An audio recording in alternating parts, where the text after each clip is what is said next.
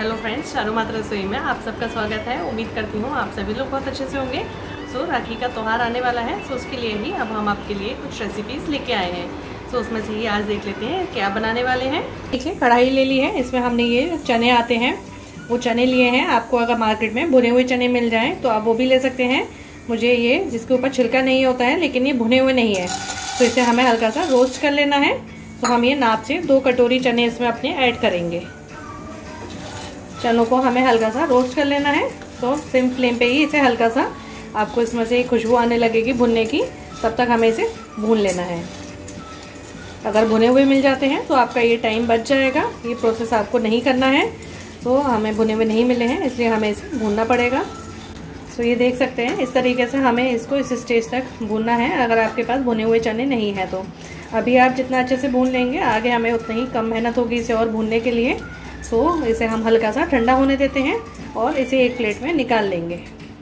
तो ये देख सकते हैं, जब हमारे हल्के चने भुनने के बाद प्लेट में हल्के से ठंडे हो जाएँ, इतने कि आप इन्हें आराम से टच कर सकें। सो हम इस तरीके से मिक्सी का जार लेंगे और इसमें तो आधे आधे करते हुए दो बार में अपने इन चनों का पाउडर बना के तैयार कर लेंगे। आधे आधे करके ही हम ऐड करेंगे ताकि जिससे कि हमारा ये पेस्ट के फॉर्म में कन्वर्ट ना हो जाए। हमें इसका एक पाउडर बनाना है तो उसके लिए हमें इसे पल्स मोड में चलाना होगा।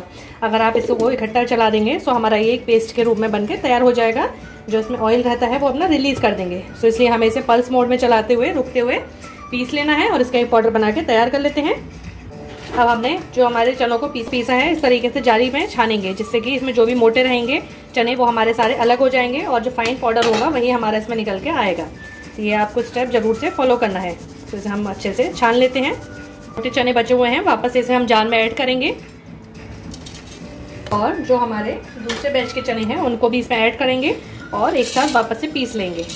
और सेम प्रोसेस फॉलो करते हुए इसको हम छान लेंगे। ये आगे चलते हैं। गैस ऑन कर दिया है, इसमें हम लगभग आधी कटोरी जितना देसी घी अपना ऐड करेंगे।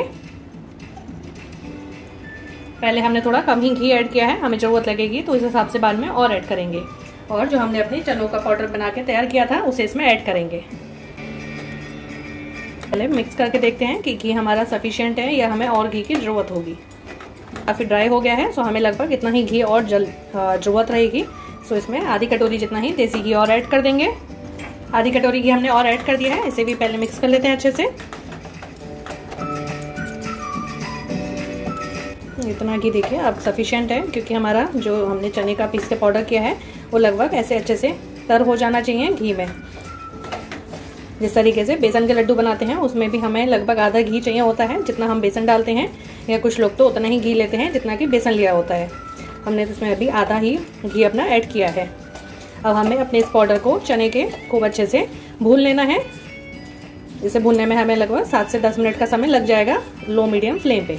तेज करेंगे तो उसमें जलने के चांसेस होते हैं। तो इसलिए इसे हम लो मीडियम फ्लेम पे ही चलाते हुए भून लेंगे।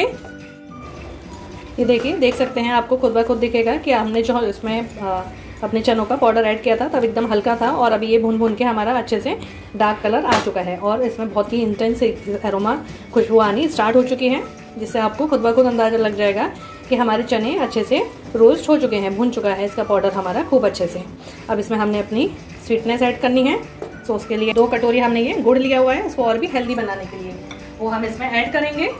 आप चाहें शुगर ऐड करना। सो आप दो कटोरी जितनी ही शुगर पाउडर ऐड कर सकते हैं।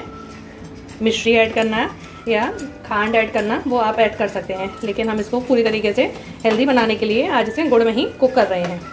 अपने गुड़ को कुक करेंगे, जब तक कि हमारा ये अच्छे से मेल्ट नहीं हो जाता है। इसके साथ ही हमने ये कुछ बादाम और मींगे ली हुई हैं। बादाम को थोड़ा मोटा मोटा चंक्स में कट करा हुआ है। और मींगे लगभग दो टेबल स्पून है। इनको भी इसके साथ में ही मिक्स कर देंगे अच्छे से। कोई और ड्राई फ्रूट या सीड ऐड करना चाहें तो आप वो भी इसे ऐड कर सकते हैं इसमें। इसे हमें अब चलाते हुए अच्छे से मिक्स कर लेना है। देख सकते हैं इस तरीके से, गुड़ मिलाने के बाद भी लगभग हमने दो से तीन मिनट इसे सेम फ्लेम पे ही अच्छे से मिक्स करके भून लिया है। और आप देखेंगे इस तरीके से हमारा ये एक बाइंडिंग कंसिस्टेंसी में आने लगा है। हमें इसे कुछ नहीं करना है जस्ट एक बड़ी प्लेट में निकालना है। और तब तक ठंडा करना है, जब तक कि हम इसको हाथ से अपने सहन नहीं कर सकते हैं।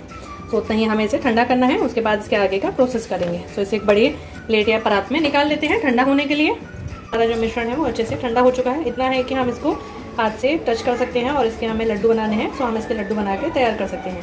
सो लगभग वन टेबल स्पून जितना मिश्रण आप अपने हाथ में लीजिए और लड्डुओं की जैसे शेप देते हैं जस्ट हमें वही देना है। साइज़ आप अपने हिसाब से छोटा या बड़ा बनाना चाहें कुक कर सकते हैं। कभी आपका ये मिश्रण सूखा हो जाए, आपको लगता है कि आपके लड्डू नहीं बन पाएँगे ड्राई हो रहा है। सो उस केस में आप या तो अगर घी ऐड करना चाहें थोड़ा सा घी को मेल्ट करके तीन चार चम्मच जितना ऐड कर सकते हैं, या फिर आप दूध भी ले सकते हैं और उसको हल्का सा मिक्स कर सकते हैं। दूध को उसमें ऐड कर सकते हैं और उसके बाद उसके इस तरीके से आप लड्डुओं को आराम से बना सकते हैं। इसी तरीके से सारे मिश्रण के हमने हमें लड्डुओं को बना के तैयार कर लेना है। ये इस तरीके से आप देख सकते हैं, हमने इनको अपने बना के लड्डुओं को तैयार कर लिया है। आपके अगर सॉफ्ट हो तो आप थोड़ी देर इन्हें फ्रिज में रख सकते हैं या ऐसे भी सॉफ्ट खाएँगे तो बहुत ही खाने में टेस्टी लगेंगे। सो इस तरीके से आप ये त्योहार पे बना के तैयार कीजिएगा। हेल्दी लड्डू हैं, खाइए और अपने घर वालों को, भाइयों को, सबको बना के खिलाइएगा। पैन ले लिया है, इसमें पहले हल्का सा तले पे थोड़ा सा पानी डाल देते हैं। उसके बाद हमने ये हाफ़ लीटर दूध लिया हुआ है, उसको इसमें ऐड करेंगे। दूध को पहले बॉईल होने देते हैं। देख सकते हैं, हमारे दूध में बॉयल आना स्टार्ट हो चुका है, इसे हम हल्का सा थिक होने देते हैं पहले। अपनी फ्लेम को हम मीडियम कर देंगे, जिससे हमारा दूध बाहर ना आए। दूध को पाँच मिनट हो चुके हैं, वैसे ही बॉयल होते हुए, इसमें हमने ये 80 ग्राम शुगर ली हुई है। अगर कप से लेखेंगे तो एक चौथाई कप जितनी हमारी ये शुगर है। तो इसको हम इसमें ऐड कर देंगे। शुगर को मिक्स कर लेते हैं, जिससे अच्छे से हमारी वो मेल्ट हो जाए। और वापस से अपने दूध को थोड़ा सा थिक होने तक हम कुक करेंगे। ये देखिए, जब इस तरीके से दूध को करते हुए हमारा 10 मिनट और हो जाएगा। तो हल्का सा थिक हमारा दूध और हो जाएगा। तो हम क्या करेंगे इसमें? हमने ये आधा चम्मच कॉर्नफ्लावर लिया हुआ है। हाफ़ टी स्पून वो इसमें ऐड कर देंगे। बस आधा चम्मच ही कॉर्नफ्लावर आपको इसमें ऐड करना है। ज़्यादा कॉर्नफ्लावर ऐड नहीं करना है, वरना फिर वो हमारा बाद में पाउडरी पाउडरी सा टेस्ट करेगा। और अच्छे से इसे मिक्स कर लेंगे, जिससे कि इसके कोई भी हमारे लम्स नहीं रहे गुटलियाँ नहीं रहे। अच्छे से हमारे दूध में मिक्स हो जाना चाहिए। ये ऐड करने का क्या फ़ायदा है होता है? वो आपको आगे चल के खुद ब खुद पता चल जाएगा, हमने ये कॉर्नफ्लावर दूध में क्यों ऐड किया है, उसके लिए आप पूरा वीडियो देखेंगे सो आपको अच्छे से समझ में आ जाएगा। तो अब हम वापस से अपने दूध को रख देते हैं थिक होने के लिए, और जब तक हमारा ये काफ़ी अच्छे से गाढ़ा नहीं हो जाएगा, तब तक हम इसे कुक करेंगे ऐसे ही। ये देखिए, दूध हमारा गाढ़ा हो होकर ऑलमोस्ट हाफ़ से भी कम रह चुका है, अभी हमें इसे और थिक करना है। हम इसे अब तेज फ्लेम पे थोड़ी देर चलाते हुए कुक कर लेंगे। इतना कुक रिड्यूस होने में हमें लगभग पंद्रह मिनट का समय लगा है, क्योंकि हमने कॉर्नफ्लावर ऐड किया था थोड़ा सा तो उससे क्या होगा, हमारा ये दूध थोड़ा जल्दी ही रिड्यूस हो रहा है अदरवाइज़ हमें थोड़ा और समय लगता है अगर हम कॉर्नफ्लावर ऐड नहीं करते तो। सो इसे हम तेज फ्लेम पे चलाते हुए कुक कर लेते हैं। ये देखिए, देख सकते हैं, हमारा दूध थिक होते होते इस स्टेज पे पहुँच चुका है। ये हमारा ऑलमोस्ट खोया या मावा आप जो भी हैं, वो निकल के आ गया है। लेकिन क्योंकि हमने इसमें कॉर्नफ्लावर ऐड किया था आधी चम्मच छोटा छोटी आधी चम्मच तो इसलिए हमारा ये क्रीमी टेक्सचर में मावा निकल के तैयार हुआ है। हमारे इसमें दाने नहीं पड़े हैं, वो क्योंकि हमने इसमें कॉर्नफ्लावर ऐड किया है, इसीलिए। आपको कभी भी इस तरीके से खोया बना के तैयार करना है तो आप उसमें आधी चम्मच जितना कॉर्नफ्लावर ऐड करेंगे तो आपका जो मावा बनेगा, वो बिना दाने का बनेगा। अब हम क्या करेंगे टू टेबल स्पून जितना कस्टर्ड पाउडर लिया है, जो कि वेनिला फ्लेवर का है हमारा, वो हम इसमें ऐड करेंगे। इसको अच्छे से मिक्स कर लेते हैं, जिससे कि हमारे इसमें जो भी दाने या गुटलियाँ हैं, वो सारी की सारी खत्म हो जाए। इसी स्टेज पे आप भी ऐड कीजिएगा, जिससे हल्का सा लिक्विडी जब हमारा खोया होगा तो दाने जो होंगे हमारे कस्टर्ड पाउडर के, वो आराम से इसमें मिक्स हो पाएँगे। इसमें हम एक छोटी चम्मच जितना केवड़ा जल डाल देंगे, थोड़ा सा ही इसमें ऐड करेंगे जस्ट इससे काफ़ी अच्छी इसमें हमारी खुशबू आ जाएगी। और कलर ऑलरेडी हमारा आप देख सकते हैं, काफ़ी अच्छा है सो हमें इसमें कलर भी कुछ एक्स्ट्रा ऐड करने की ज़रूरत नहीं है। इसे हम कुक करेंगे जब तक कि हमारा ये एक बाइंडिंग कंसिस्टेंसी में नहीं आ जाता है और एक से दो मिनट लगेगा इसे हमारा उस स्टेज तक पहुँचने में। में हम एक बड़ी चम्मच कितना देसी घी ऐड करेंगे जिससे कि इसमें एक अच्छी सी शाइन आ जाएगी और सेट होने में हमारे लिए ये हेल्पफुल होगा।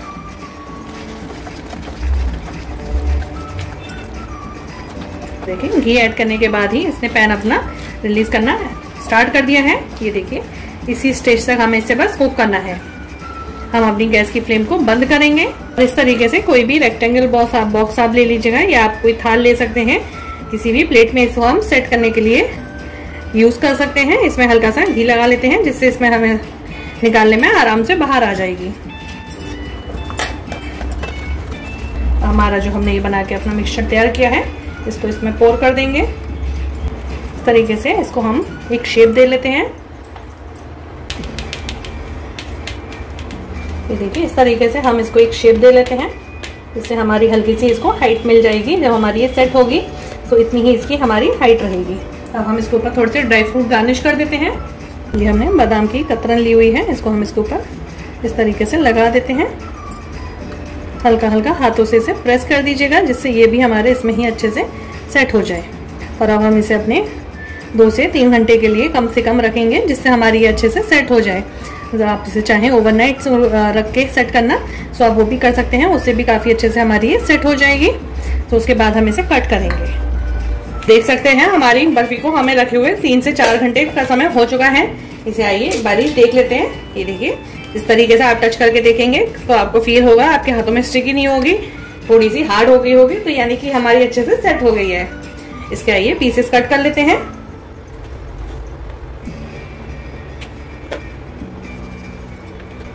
इतना आराम से आपके पीसेस बाहर आते जाएँगे। इस तरीके से अगर शेप थोड़ी सी कट करने से चेंज भी हो जाए इसके, बाहर आ जाए तो आप इसको हल्का सा इस तरीके से प्रेस कर देंगे। तो ये आपकी आपकी, वापस से अपनी शेप में ही आ जाएँगे। इस तरीके से आप देख सकते हैं कस्टर्ड की हमारी बर्फ़ी बनके एकदम तैयार है। आपकी काफ़ी सॉफ्ट वर्क बर्फ़ी बर्फ़ी बनके ये तैयार होगी। ये देखिए, इस तरीके से आप देखेंगे, ये देखिए। एकदम मुलायम हमारी ये बर्फ़ी अच्छे से बनके तैयार है। थोड़ा सा टुकड़ा हाथ में लेके देखिए। कितनी अच्छी हमारी अच्छी बर्फ़ी बन के घर पे ही तैयार हुई है। इसी तरीके से ये बर्फ़ी आपको बाज़ार में मिलकर तैयार होती है। सो आप ये आसानी से घर पे जब जब चाहें ताजी बना के तैयार कर सकते हैं। एक पैन लिया है, इसमें हमने दो कटोरी अपना मिल्क पाउडर लेंगे, वो ऐड करेंगे। एक कप ही दूध लिया हुआ है, दो कप हमने मिल्क पाउडर लिया है और एक कप हमने ये मिल्क लिया हुआ है। इसको हम पहले इसी में ही अच्छे से मिक्स कर लेंगे। अभी हमने अपनी गैस की फ्लेम को ऑन नहीं किया है। बिना गैस की फ्लेम चलाए हुए ही हम इसे को मिक्स कर रहे हैं, वरना हमारे इसमें बैटर में लम्ब पड़ जाएँगे। ये जब हमारा अच्छे से मिक्स हो जाए तो हमने एक कटोरी कोकोनट का बुरादा लिया हुआ है। कोकोनट पाउडर जो आता है मार्केट में, बारीक वाला, वो लिया हुआ है। हमने दो कटोरी मिल्क पाउडर और एक कटोरी कोकोनट का बुरादा लिया हुआ है। आप चाहें इसे आधा आधा करना, एक कटोरी मिल्क पाउडर और एक कटोरी बुरादा लेना तो आप उस तरीके से भी इसको डिवाइड कर सकते हैं। इसे बीस में पहले अच्छे से मिक्स कर लेंगे। ये देखिए, इस तरीके से हमारा ये मिश्रण बनके तैयार हो गया है। अब हम अपनी गैस की फ्लेम चलाएँगे और इसे जब तक कि हमारा थिक नहीं हो जाता है, तब तक हम इसे कुक करेंगे। मिल्क पाउडर है सो ये काफ़ी जल्दी हमारा थिक होना स्टार्ट हो जाएगा। साथ में हमने गोले का बुरादा भी इसमें ऐड किया हुआ है। तो ध्यान रखिएगा कि आपके पैन में नीचे लगे ना तो मीडियम फ्लेम पे ही इसे आप कुक कीजिएगा। ये देखिए, इस तरीके से हमारा ये कम्बाइंड होने वाली स्टेज में आ गया है। इसमें हम अपनी एक कटोरी ही चीनी ली हुई है, उसे ऐड करेंगे। चीनी भी अभी अपना पानी छोड़ेगी सो ये हमारा उसके साथ में कुक हो जाएगी। इस तरीके से हमारी चीनी भी मेल्ट हो रही है। साथ में हमने ये रोज़ अपना सिरप लिया हुआ है। होममेड हमारा रोज़ सिरप है, इसको इसमें ऐड कर देंगे। इससे एक तो इसमें कलर भी बहुत अच्छा आएगा और लगभग इसमें फ्लेवर भी इसका आ जाएगा। सो टू टेबल स्पून जितना हमने ये रोज़ सिरप इसमें ऐड किया है, और इसे मिक्स कर लेते हैं। थोड़ा सा इसमें हम पिंक फ़ूड कलर भी अपना ऐड करेंगे। इसे अब चलाते हुए, जब तक कि हमारी ये बाइंडिंग वाली स्टेज में नहीं आ जाता है कंसिस्टेंसी में नहीं पहुँच जाता है, हमें इसे कुक करना है। इसे हमारे मिश्रण ने अपना पैन छोड़ना स्टार्ट कर दिया है, ये देखिए, लेकिन इसमें अभी हम इस लगभग एक चम्मच जितना थोड़ा सा घी ऐड करते हैं, जिससे इसमें हमारी हल्की सी शाइन आ जाएगी और इससे थोड़ा सा टेस्ट भी और इन्हेंस हो जाएगा। ये हमारे मिश्रण ऑलमोस्ट बनके तैयार है। हम अपनी गैस की फ्लेम को बंद कर देंगे और इसे आइए एक प्लेट में निकाल लेते हैं। ये देखिए, इस तरीके से हमारा जो मिश्रण है, ये अच्छे से ठंडा हो चुका है। इसे स्पून से और एक बारी मिला लेते हैं और फिर इसके हम इसी तरीके से लड्डू अपने बना लेंगे। एक चम्मच जितना लड्डू का मिश्रण आप हाथ में लीजिएगा और इस तरीके से जो आप छोटा, चाहे बड़ा शेप का जैसा बनाना चाहें, वैसे बना के तैयार कर सकते हैं।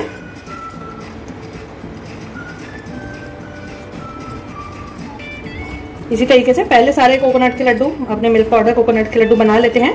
इस तरीके से हमने इनको रफली इस तरीके से बाँध के रख लिया है। अब हम क्या करेंगे? अब हम एक एक लड्डू को हाथ में लेते जाएँगे। अगर ये आपके हाथ में स्टिकी हो तो आप हाथों को वेट कर सकते हैं, या फिर थोड़ा सा देसी घी भी हाथ में लगा सकते हैं। और इस तरीके से इसमें रोल करते हुए फिर हम इसे अपनी प्लेट में रखते जाएँगे। तभी ये काफ़ी सॉफ्ट है तो इसलिए इसकी शेप नहीं ले पा रहे हैं। आप इन्हें जब थोड़ी देर फ्रिज में रखेंगे सेट होने के लिए सो इसी शेप में ये वापस से आ जाएँगे अपने। ये बहुत ही टेस्टी लगेंगे इस तरीके से आपको खाने में। या तो बहुत लोग क्या करते हैं। सिर्फ़ कोकोनट का बनाते हैं बुरादे का, या फिर सिर्फ़ मिल्क पाउडर का। लेकिन आप इस तरीके से इन दोनों को मिक्स करके एक बार बना के ट्राई कीजिएगा किसी फ्लेवर के साथ। तो बहुत ही अच्छे आपको खाने में लगेंगे। जो मैंने आज ये रोज़ फ्लेवर का बनाया है, या फिर आप इसे गुलकंद फ्लेवर में बनाइएगा। मेरे चैनल पे उसका भी वीडियो डाला हुआ है ऑलरेडी वहाँ से आप इसे देख सकते हैं। तो ये हमारे, आप देखिए फेस्टिवल के लिए, राखी को सेलिब्रेट करने के लिए रोज़ फ्लेवर के लड्डू बनके तैयार हैं। इन्हें आप बना के ट्राई कीजिएगा। कैमरे में हो सकता है इसका कलर उतना अच्छा नहीं आ रहा हो, लेकिन आप इन्हें अगर पास से देखेंगे, या आप इसे घर पे खुद इस तरीके से बनाएँगे तो आपको खुद व खुद ही पता चलेगा कि कितने अच्छे खाने में टेस्टी हैं और कितना अच्छा दिखने में भी लग रहे हैं।